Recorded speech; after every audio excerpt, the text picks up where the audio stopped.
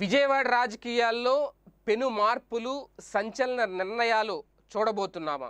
ఖచ్చితంగా అవుననే అంటున్నారు కొంతమంది రాజకీయ పరిశీలకులు. ప్రస్తుత పరిస్థితులు చూస్తూ ఉంటే తెలుగుదేశం పార్టీకి ఒక గట్టి షాక్ తగలబోతుంది అనేది. అది కూడా ఎంపీ కేసినేని నాని గారి విషయంలో ఏం జరగబోతోంది అనే ఉత్కంఠే పెరిగింది. ఎందుకంటే నడి రోడ్డు మీద వాగ్వాదం జరగడం కార్యకర్తలకు ఎంపీ స్థాయి వ్యక్తికి మధ్య ఈ తరహా వాగ్వాదం గతంలో ఎప్పుడు చూడలేదు అని. దానికి కారణం కేసినేని నాని గారు తీసుకున్న నిర్ణయం.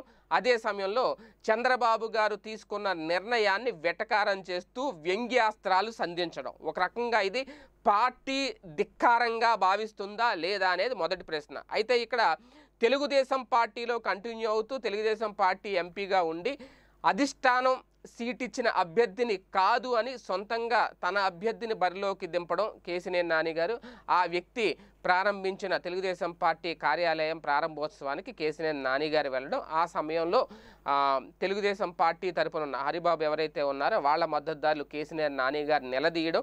గతంలో వైసీపీ నుంచి ఇరవై మూడు మంది ఎమ్మెల్యేలను చంద్రబాబు గారు తీసుకొస్తే తప్పు లేదా? ఇప్పుడు నేను ఒక అభ్యర్థిని పెడితే తప్పు వచ్చిందా అంటూ ఆయన వ్యాఖ్యానించడం. అంటే ఇక్కడ ఆయన నిలబెట్టిన వ్యక్తి కూడా వైసీపీ నుంచి వచ్చిన వ్యక్తి వైఎస్ఆర్లోకి వెళ్ళిన వాళ్ళకు ఎందుకు టిక్కెట్ ఇస్తారు అనే దాని మీదే ఇక్కడ ఒక వాగ్వాదం జరిగింది. డివిజన్కు అంటే అక్కడ అది కూడా ఒక్కొక్క డివిజన్ అభ్యర్థి నుంచి పదిహేను నుంచి ఇరవై లక్షలు ఖర్చు అవుతుంది ఆ మొత్తాన్ని ఎంపీ కేసినేని నాని గారు ఇస్తానన్నారు అని చెప్పడం.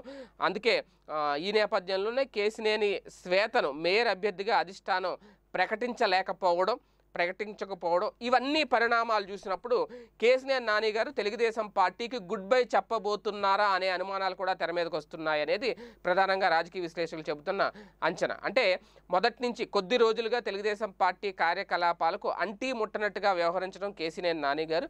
ఇదే సమయంలో కార్యకర్తలు నిలదీసే పరిస్థితి వస్తే అక్కడ ఆయన కాస్తంత ధిక్కార స్వరంగా పార్టీకి అధిష్టానానికి ధిక్కార స్వరంగా ఆయన వ్యాఖ్యలు వినిపించడం ఇదే నేపథ్యంలో ఖచ్చితంగా వైఎస్ఆర్సీపీకి మద్దతుగా వ్యవహరించే అవకాశం కనిపిస్తుంది కేసీఆర్ నాని గారు అనేది కొంతమంది చెబుతున్నమాట. ఎందుకంటే ఎప్పటి నుంచో కేసీఆర్ నాని గారు అంటే తెలుగుదేశం పార్టీలో కీలక నేత బలమైన నేత. కాకపోతే ఇక్కడ వైరు వర్గాలు ప్రధానంగా గ్రూప్ రాజకీయాలు పెరిగిపోవడం. కేసీఆర్ నాని గారి వర్గం ఒకటి బుద్ధా వెంకన్న వర్గం ఒకటి ఇలాగ రకరకాలు. జలీల్ ఖాన్ వాళ్ళ వర్గం అటువైపు అయితే నాగుల్ మీరా వర్గం ఇటువైపు ఇలాగ. విజయవాడ రాజకీయాలు ఏంటనేది అందరికీ కేసీఆర్ నాని గారు తెలుగుదేశం పార్టీలో ఏ వర్గం ఏంటనేది అందరూ ప్రతి ఒక్కరు చెప్తారు. విజయవాడలో రాజకీయాలు మీద మినిమం అవగాహన ఉన్న వాళ్ళందరికీ తెలిసిన విషయమే. అయితే ఇక్కడ వైఎస్ఆర్సీపీకి మద్దతుగా వ్యవహరిస్తున్నారు అనే అంశం ఎప్పుడైతే తెర మీదకి వచ్చిందో ఇక ఆయన పార్టీలో ఇమడలేరు పార్టీ గుడ్ బై చెప్తారా అనే అంశాలు కూడా తెర మీదకి వస్తున్నాయి. ఎందుకంటే ఒక వలంనేని వంశీ కానీ ఒక మద్దాలగిరి కానీ వీళ్ళందరూ ఎలాగ కట్నం బలరాం గారు కానీ వీళ్ళందరూ ఎలాగ టీడీపీకి గుడ్ బై చెప్పి వైసీపీ మద్దతుదారులుగా కొనసాగుతున్నారు.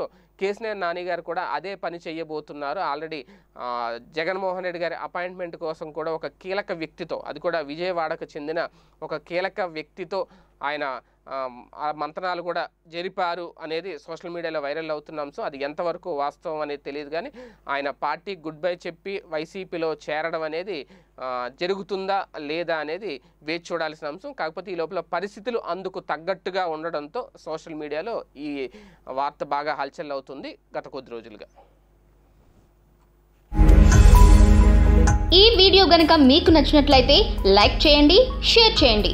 మరిన్ని వీడియోస్ కోసం మా ఛానల్ను సబ్స్క్రైబ్